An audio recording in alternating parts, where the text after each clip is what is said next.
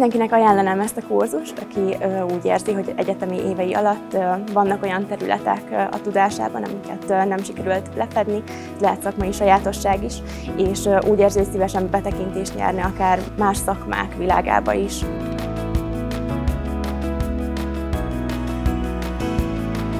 Úgy érzem, hogy nagyon sokat fejlődtem abban, hogy hogyan érvényesítsem a saját érdekeimet, úgy, hogy közben figyelembe veszem másokét is, és főként az üzleti világban hogyan tudom ezt alkalmazni.